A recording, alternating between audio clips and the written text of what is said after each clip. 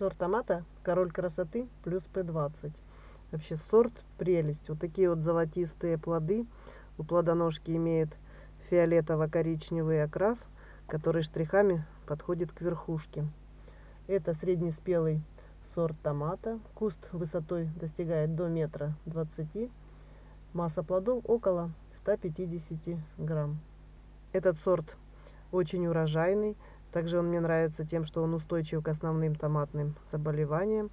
В разрезе томат многокамерный, очень сочный, оранжево-розового окраса мякоть.